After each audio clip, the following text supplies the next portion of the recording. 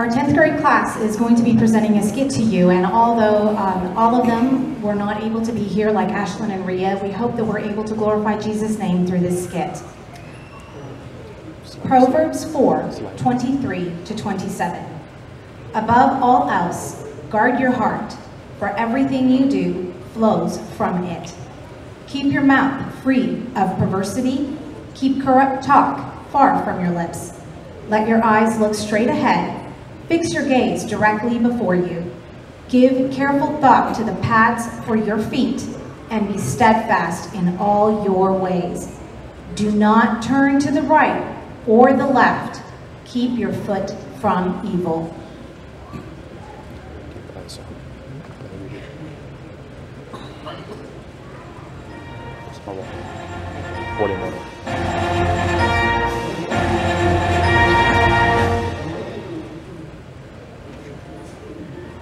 Hello, my fellow Americans.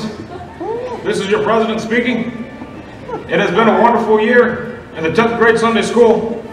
As a class, we learned about the power of influence and about guarding the one's heart from the corruption that exists in this world.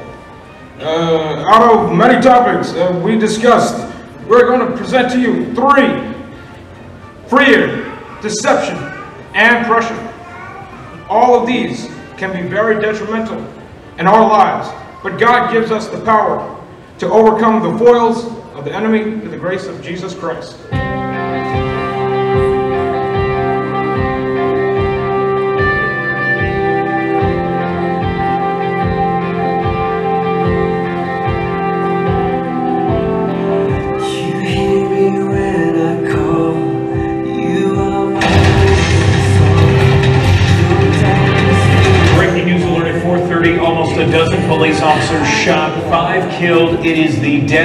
Attack on law enforcement officers since 9/11. Explosions have rocked an airport in a metro station in Brussels. Belgian media are reporting at least 23 people are dead.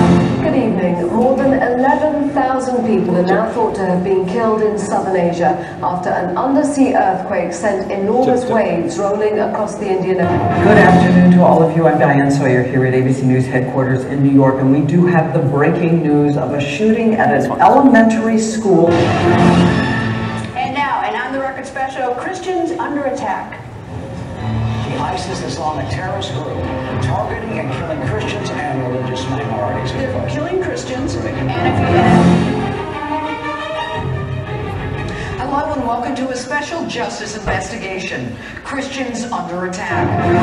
Happening now, breaking news, Paris terror fear. Multiple people are reported killed in a shooting. There's also word of possible explosions outside the National Stadium and a hostage situation unfolding right now as well. In the last year, some 120,000 Iraqi Christians have been forced out of the region because of ISIS. All over the Middle East, extremism and terrorism has put increased pressure on the Christian population. 11 officers shot, five of them killed. Practice Christianity, and you could be court-martialed. That could be the new law of the land for our armed forces, thanks to a proposal by a religious tolerance group that claims Christian evangelists are predators. Whom shall I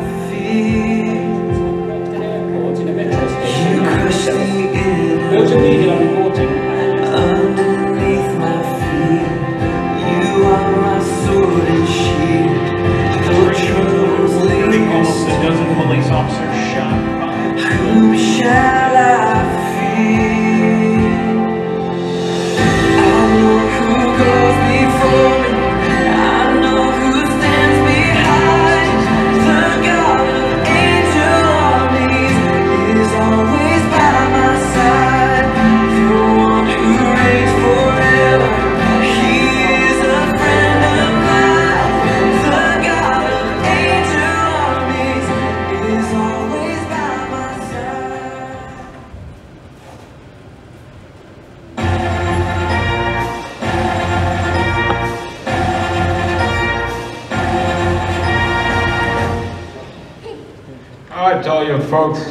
what is this world coming to? I mean, the headlines like this is enough to make anybody shiver. Now it just gets me. why anyone would want to shut down the voices of those who are speaking the truth. We should never let anyone allow us to be silent when it means we are standing up to fear, because God's right there to let your voice be heard.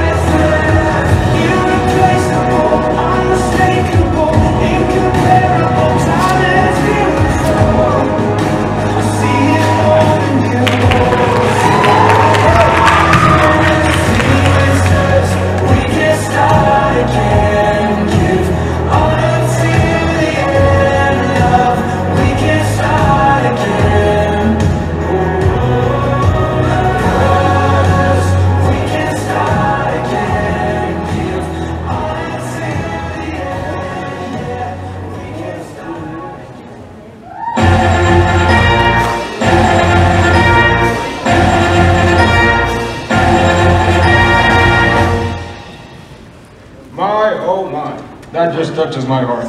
You see, the beauty truly is not what's corrupted in this world, but what these young people are doing.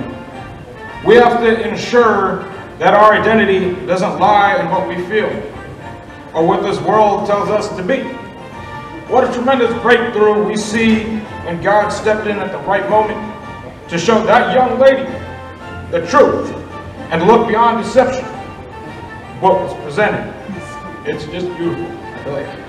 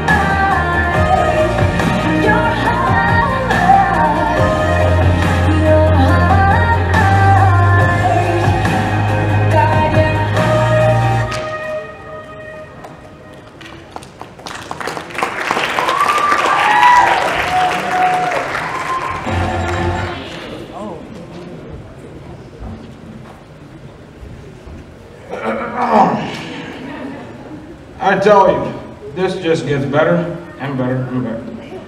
Fellow Americans, don't you agree that the Lord is incredible and how he comes at the right time to rescue his children from the procedures and influences around them? I guess I should listen to myself because I could use God right now as I am the chief officer of this country. So, to sum things up here, in this day and age, we constantly feel pressured to abandon our godly lives, and it takes us further away from God. But with God's grace, we are able to guard our hearts and uh, overcome our pressures. Regardless of the age, we are called out not to be influenced by the world. Rather, let us be the light and the influence, folks.